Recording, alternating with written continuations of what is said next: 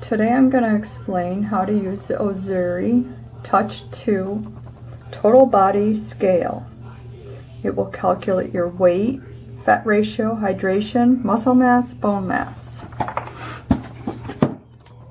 Here's the box and I'm going to go through the steps on how to set it up.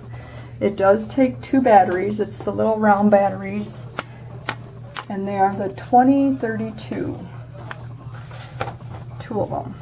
So here's the scale. The batteries go in the underneath spot. There is a tab in there that you want to remove before you do the setup. And you just pull that out and then make sure the batteries are seated in there.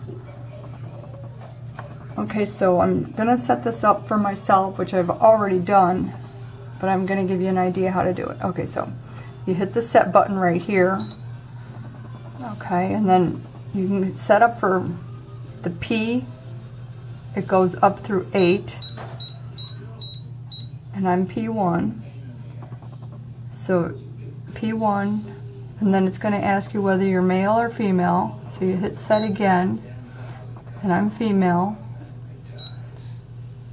I'm 5 foot. And if you needed to change that, you would just go up or down. 5 1 or 11 and so on. Then you hit set again for your age, I'm 54.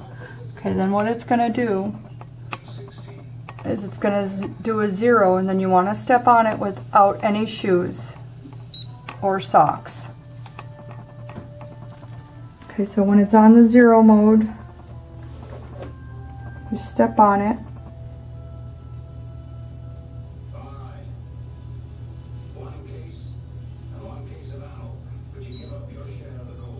Okay, and then it's going to go through four calculations. And what those are is the first one is the fat. The second one is your water.